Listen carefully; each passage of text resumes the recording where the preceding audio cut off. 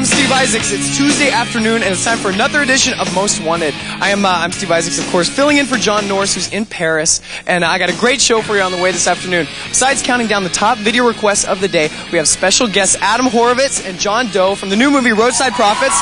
Woo! And uh, you remember Adam from the Beastie Boys, who are coming out with a, a, new record real soon. And John Doe was the front man for legendary band X and for the day. And when we come back, we'll check out the top five video requests of the day, and we'll welcome special guest Adam Horovitz from the Beastie Boys and John Doe from X, who are both in Roadside Prophets, a new movie. So don't go anywhere. They had a lot of places like this in the 50s, huh? Oh, yeah. And every day after nursery school, I just hop on my tricycle, go on down to Muscle Beach, and have milk and cookies with Elvis.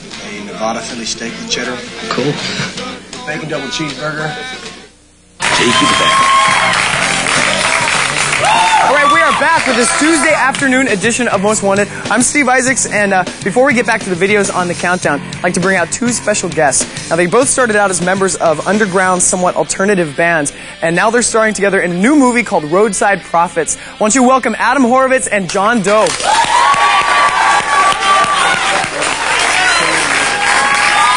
How's it going, John? Whoa! Whoa! Stunts! you alright, bro? Yeah. Have a seat. Woo. See, you know, that's the MTV trick stage, you know what I mean? That's, so, that's acting, my friend. Yeah. Uh, that was acting, by the way, ladies and gentlemen. Wasn't that great? So, welcome to the show. Uh, why don't you uh, tell me about the movie Roadside Prophets? Uh, it's coming out next week. In New York and in April. Wow. It's coming out in April in LA. Like 50 cities, I think they're going to put it in. So, so who do you both play? I play Joe. Mm-hmm. I play Sam. And what's Joe like? Uh, Joe is looking for some some kind of friendship, except he doesn't really know it. Mm-hmm. He thinks he's trying to get rid of these ashes for a friend of his. So a friend, a friend dies playing a video game, and before he dies, he says he wants to see this bar in the oh, El Dorado bar. Right. And so your character says, I'm going to take his ashes and go across the country and do this for him. It's like his right. final wish. And then you hook up with Sam. He kind of oh, follows Sam. Me. Yeah. He kind of he kind of makes himself obnoxious and follows me and says, "Well, gee, where are you going to go? And can I go too?" And so you guys had to wedge the acting in uh, in between the music careers. You know, you're from the Beastie Boys, you're from X, and got the solo career. So, what do you like doing uh, more, music or the acting? Which is more satisfying? Well, when you make music, you make it, and when you're in a movie, you're like just in the movie. That's right. So you like making music better? No, you, you, whatever you're doing, you focus on. Mm-hmm. I mean, they're, they're, they're rewarding in both ways. You can't do what you're doing in acting and music because you got to go out and you got to be big, you know, and you got to act crazy and, and mm-hmm. do all that kind of stuff. And in a movie, you can just sort of twitch your mouth and says something. Let's look at some mouth twitching. Here's a clip from uh, Roadside Prophets, and it's actually a road clip. So here it is. Hey, can I get one? Can I smoke?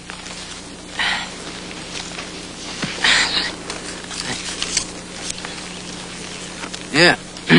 Started smoking when I was seven. Never buy them, though. When'd you start?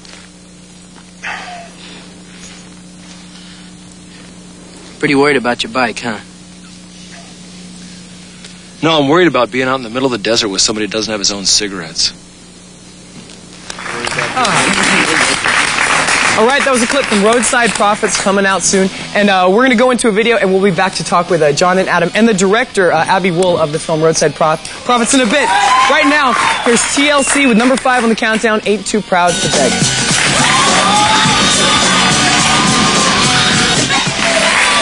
All right. That was TLC with Ain't Too Proud to Beg in at number five. And this is John Doe, Adam Horovitz, and over here we've got Abbe Wool, who is the director of the film Roadside Prophets, which they both star in.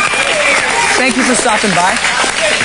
So, so in this film, you got you've got a lot of musicians and a lot of counter, counterculture figures. You got Timothy Leary acting. You got John Cusack. Flea is in it. Ubiquitous Flea. And so, uh, what was the idea with getting so many like non-actors really to, to they were all together? right for the parts, and nobody, none of these musicians plays musicians in the film. They all play just regular, regular people, and uh, they don't even listen to music.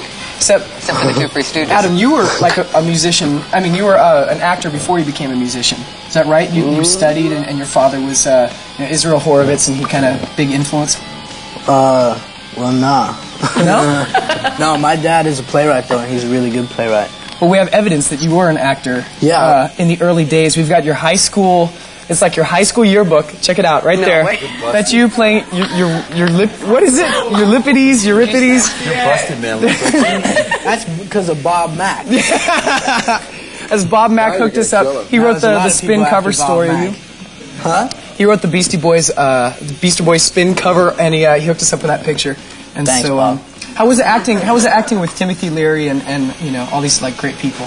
Timothy Leary is, is really impressive and like scares the hell out of you. it's just okay, yeah. It's nice talking to you. I'll see you later. Because he's he's way out there, but I mean he's he's always changing.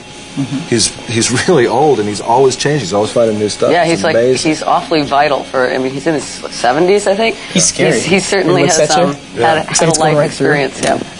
Well, that's all the time we got, unfortunately. But you should go check out the movie Roadside Prophets, kind of like an easy rider for the 90s, a counterculture kind of a thing. Thanks, John Doe.